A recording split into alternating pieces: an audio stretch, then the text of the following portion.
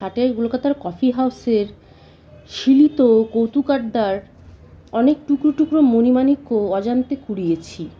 প্রায় কলকাতা হীরকমণ্ডিত সময়ের প্রতি আগ্রহ আগ্রহবশত কিংবা হয়তো অনেক সময় একটা স্বাভাবিক সাংস্কৃতিক উত্তরাধিকার সূত্রে। আজকে সত্যজিৎ জন্মবার্ষিকী সংখ্যা নামকরণ করতে গিয়ে কেন যেন সেই নামটাই মনে এলো। সত্যজিৎকে ঢ্যাঙা বলে ডাকাটা প্রায় যেন কালজয়ীভাবে বিখ্যাত করেছিলেন ঋত্বিক ঘটক। এই ঠাট্টার মধ্যে যে কী পরিমাণ কী পরিমাণ অনুরাগ ছিল, সেটা আমরা সহজেই অনুমান করতে পারি ঋত্বিকের নিজের শারীরিক দৈর্ঘ্যর দিকে এক নজর তাকালেই। সুদীর্ঘ সেই মানুষটা যখন তার প্রতিদ্বন্দ্বীর উচ্চতা দিয়েই একেবারমাত্র তার সম্ভাষণ করেন, অন্য গুণগুলোকে সযত্নে, সগোপনে আড়াল করে যে বৈশিষ্ট্য তাকে নিজেকে বর্ণনা করার জন্য অত, জন্যই অতটাই অমোঘভাবে নির্ভুল, তখন সত্যিই মনে হয় কি নিষ্কলঙ্কুশ, অনাবিল সময়ের মধ্যে দাঁড়িয়ে কাজ করে চলেছেন এই মানুষগুলো।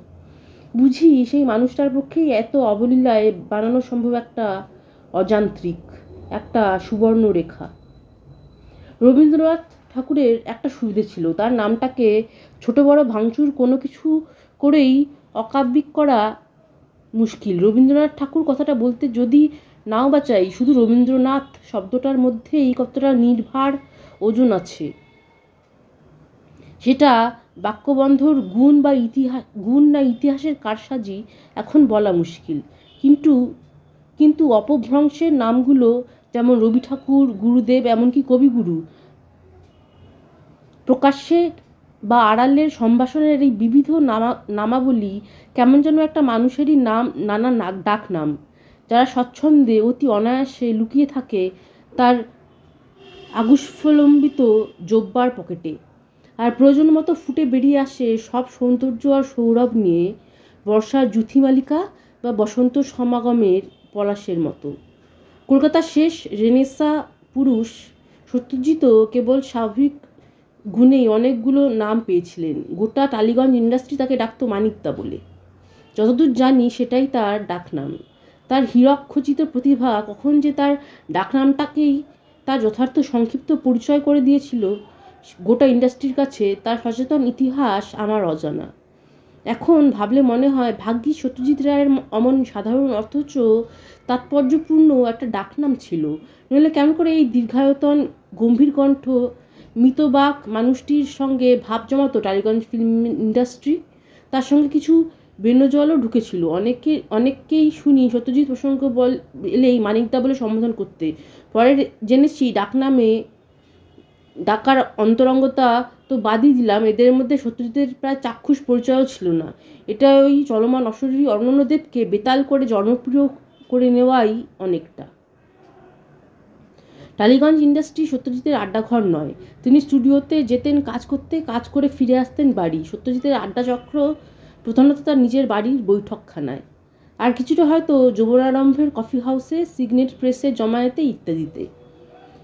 সেখান থেকে শুনেছিলাম, তার এই অদ্ভুত নামকরণ ওরিয়েন্ট লংম্যান পাবলিকেশনটির সঙ্গে হয়তোবা তখন প্রথম পরিচিত হচ্ছেন কলকাতার মানুষ। The tall man of the east বা প্রাচ্যে সেই দীর্ঘ মানুষটি, যিনি তার সমস্ত পাশ্চাত্য দিয়ে ততদিনে বাংলার মুখ হয়ে গেছেন পৃথিবীর দরবারে। তাকে বন্ধু বান্ধবরা সকৌতুকে নাম দিলেন ওরিয়েন্টাল, ওরিয়েন্ট লংম্যান। শুনে খুব মজা পেয়েছিলাম। এরপরেই অনেকটি, এরপরেই আরেকটি নামকরণ হয়েছিল সত্যজিতের। একই কৌতুক গোষ্ঠী থেকেই বোধ করি। Eastern bypass. সেটা তার বাইপাস সার্জারি আর ইএম বাইপাস নির্মাণের সন্ধিক্ষণে কৌতুকের একটা সর্বনাশা আগ্রাসী আনন্দ আছে। সে জড়া ব্যাধি, মৃত্যুকেও তোয়াক্কা করে না। জানি না জীবদ্দশা সত্যজিৎ এই নামকরণটি শুনে গেছেন কি না হয়তো বা গ্রহণও করেছেন। তার স্বভাবচিত উচ্চকিত কৌতুক হাসছে কিন্তু আমার কোথায় যেন একটু খারাপ লেগেছিল। বিশেষ করে যখন শাল প্রাংশু সুঠাম দেহি সেই মানুষটির প্রতিকৃতিতে শিরাকুঞ্চনের মালিন্য ধীরে ধীরে প্রকট হয়ে উঠছে তার প্রতিটি জন্মদিন আলেখ্যে। কেমন করে যেন ভেতর থেকে মনে হতো এই নামটা ঠাট্টা করে হলেও না দিলেই হতো। কে জানে হয়তো জড় সংস্কার কিন্তু এই সংস্কারিত প্রতিমা বানায়, মূর্তি নির্মাণ করে। সংযোজন। আমাদের সাম্প্রতিক সংখ্যা উনিশে এপ্রিলের ফার্স্ট পার্সনে একটা তথ্যভ্রান্তি আছে। ইতিমধ্যেই কয়েকজন দায়িত্ববান পাঠক সেটিকে সেদিকে নজর আকর্ষণ করে চিঠি পাঠিয়েছেন। সত্যজিৎ চলে গেছেন উনিশশো বিরানব্বই সালে। আমি লিখেছিলাম উনিশশো একানব্বই, ভুল লিখেছি, স্বীকার করছি। তবে সত্যজিৎ কবে চলে গেছেন আমাদের ছেড়ে, সেটা মনে রাখার দায়িত্ব আমি ইতিহাসের হাতে ছেড়ে দিলাম। আমার মন না হয় সে দায়িত্ব নাই বা নিল। সেটা তো আজীবনের জন্য ওরিয়েন্ট লংম্যানের অমরাবতী। তিন মে দু হাজার নয়।